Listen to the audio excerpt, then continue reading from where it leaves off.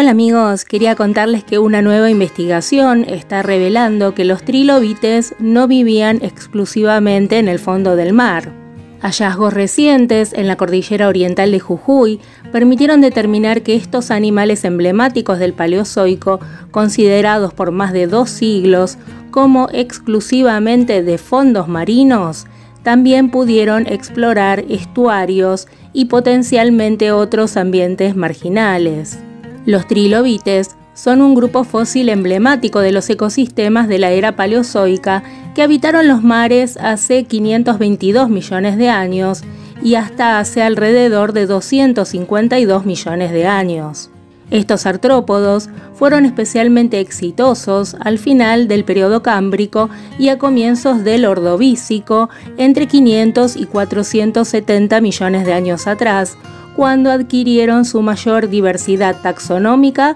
y morfológica. Igualmente características son sus huellas o trazas fósiles que ofrecen a los especialistas evidencias de su comportamiento e interacción con el medio. Hasta ahora los trilobites siempre fueron considerados animales marinos incapaces de tolerar variaciones de salinidad. Sin embargo, el reciente hallazgo de restos y huellas de estos artrópodos en la cordillera oriental de Jujuy, en lo que fueron estuarios, ambientes caracterizados por la mezcla de aguas marinas y fluviales, de los primeros periodos del Paleozoico, cuestiona esta arraigada premisa paleontológica. Una investigación multidisciplinaria publicada recientemente en la revista Procedimientos de la Real Sociedad B, realizada por científicos del CONICET SICTERRA, CONICET, UNC y colegas argentinos de la Universidad de Saskatchewan en Canadá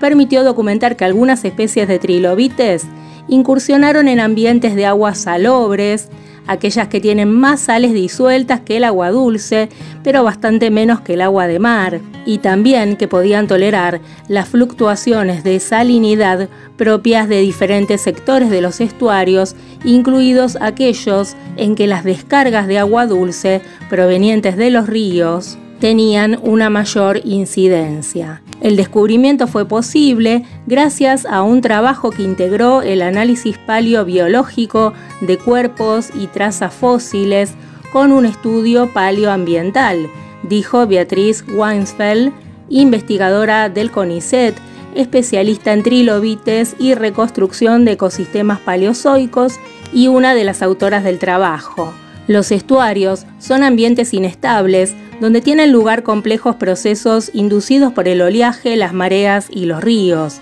La identificación de estos ambientes en el registro geológico no es sencilla y requiere detallados análisis de los depósitos sedimentarios. En las sucesiones sedimentarias de la cordillera oriental de Jujuy reconocimos el desarrollo de dos estuarios clave para nuestra investigación. En el más antiguo, correspondiente al Cámbrico superior de aproximadamente 486 millones de años, denominado miembro pico de halcón, se encontraron en la porción más cercana al mar restos de un trilobite, Neoparabolina frequens argentina y la traza fósil cruciana semiplicata. En el estuario más joven, de 467 millones de años de antigüedad, del Ordovícico medio, conocido como Formación Alto del Cóndor. Están presentes a través de todo el estuario la especie Ojiginus y la traza fósil cruciana rugosa,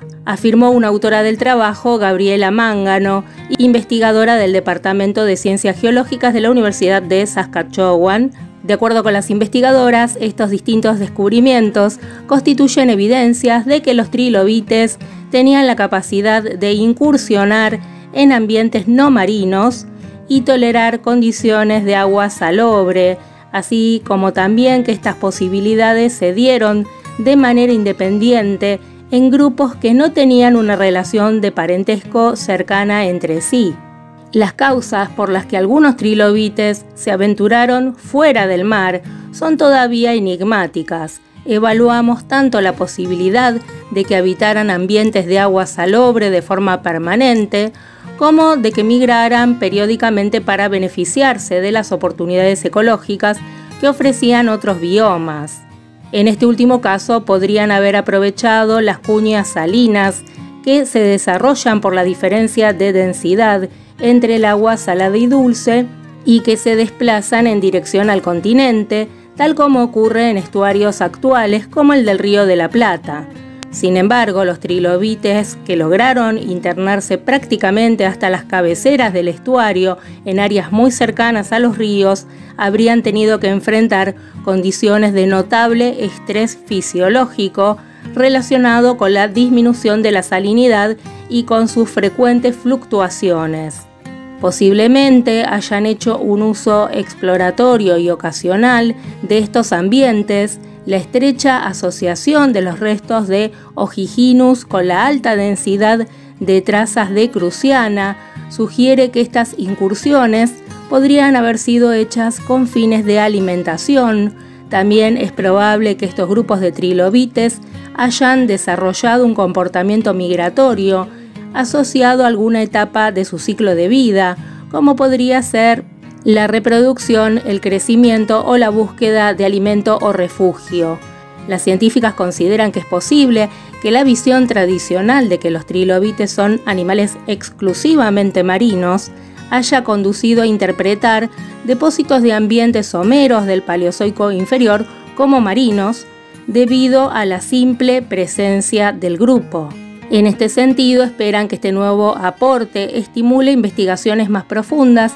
de la fisiología y flexibilidad ecológica de este grupo extinto, al tiempo que promueva un análisis crítico de los depósitos portadores desde este punto de vista paleoambiental, no solamente en Argentina, sino en otras regiones del mundo. Bueno amigos, espero que les haya gustado la información que les traje hoy sobre este descubrimiento de que los trilobites no solamente habitaban los fondos marinos exclusivamente, sino que se acercaban mucho, pero mucho a las costas, inclusive en lugares donde la influencia del agua dulce de los ríos, como ocurre en los estuarios, era muy grande, y también la posibilidad de que muchos terrenos hayan sido mal catalogados como fondos marinos cuando en realidad no lo eran simplemente porque había trilobites.